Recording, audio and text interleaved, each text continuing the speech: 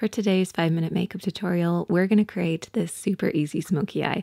You might have seen the full in depth lesson, but I like to upload shorter five minute tutorials just as a refresher or for anybody who's limited on time. This look is my super speedy, sultry smoky eye.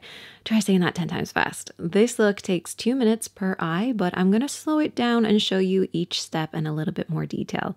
It's super easy and fun, so let's get started. Now, as always, whenever we create an eye makeup look, we like to start off with a good base. For dry lids like me, I like to just use a mattifying concealer to create a smooth base and give the eyeshadow something to hold on to. But for oily lids, you do want to use an eyeshadow primer. This will help create a barrier between your skin and the eye makeup to stop the oils from breaking down the shadow. And to speed up the process, I would recommend using a lightly damp sponge for a very even layer. The first brush that you're going to need is a fluffy brush. This is the E26 by Blank Canvas Cosmetics, and you need this brush. It is essential. Now, the way that we hold this brush is going to be a little bit different. We want full control, so we're going to hold it in the bunny position. The bunny position is two fingers on top, pinched between the thumb, ring, and pinky. And I call it the bunny because we have two fingers on top, kind of like bunny ears. So holding this brush, you want to apply an eyeshadow that's at least one shade lighter than your skin tone, and this should be matte. You can even use your face powder as long as it's brightening, and what you want to do is focus on the crease line, blending all the way upwards towards the brows and right underneath the eyebrows. This will help speed up our blending process later and make it easier. You just want to avoid the lid because we want that primer or that base that we've applied to really grab hold of the eyeshadows. Now I want you to put that fluffy brush down for a minute and pick up a pencil brush. This is the E23 by Blank Canvas Cosmetics. I like to hold this like I'm holding a pen. So one finger on top, holding in the middle of the handle because this will give us enough control for this step. We're going to apply a dark eyeshadow, so as dark as you want to go. Rest your pinky on your cheek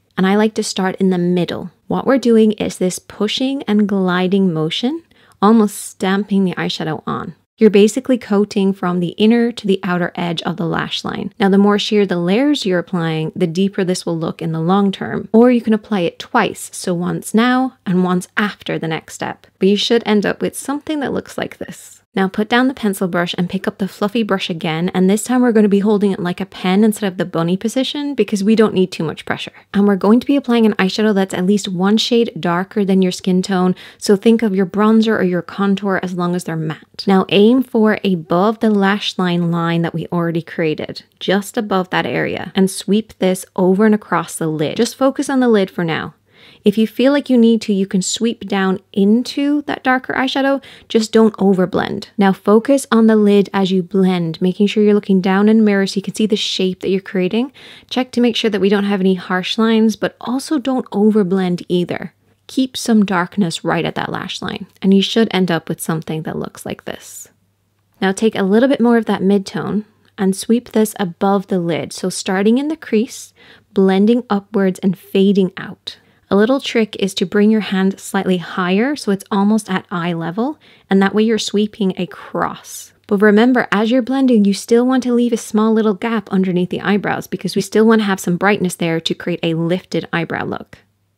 Now, if you need to, reapply a little bit of that darker eyeshadow, but only if you need to. It might be as dark as you need it to be, it's totally up to you. Now, if you notice a little bit of fallout on your lashes, a little trick that I like to do is take a liner that matches my mascara and just coat the little fallout bits. Now, you can do this with mascara by really coating the lashes, but it actually takes a lot longer. It's so much easier just to dip in with a little bit of liner and just coat the little dots that might have dropped. Now take that pencil brush again and use whatever's left over on it to sweep this underneath the lashes, right underneath the lashes for that smoky finish. I like to press down on the brush to create a 90 degree angle so I can just go straight across, but I know that some people kind of struggle with that. So what I would recommend doing is bringing your hand nice and high, making sure that the tip of that pencil brush is hitting right underneath the lashes. And try looking upwards so you can see what you're doing. And what you're doing is sweeping from the center out and in, working right underneath the lashes. Then finish off with mascara, and I like to tap the mascara right on top of the lower lashes. So I'm not pulling it downwards. So what this is going to do is create some depth instead of length. So we're not pulling the eyes down. We're just creating that smoky effect right at the lashes. And there you go. A sultry smoky eye that you can do in two minutes with a little bit of practice. It's about two minutes per eye. And I like to just aim for like five minutes overall, just to give yourself that extra minute, just for any little issues, like if your brush just rolls away from you. Let me know if you want to see a quick face makeup look as well. And if you try this out, let me know if over time you get a little bit faster and faster as you go. I'd love to hear what your timing is for this. And maybe we can do like a fun little speed run challenge. But I will see you guys in the next one. Be kind to yourself, be kind to others, and I'll see you soon.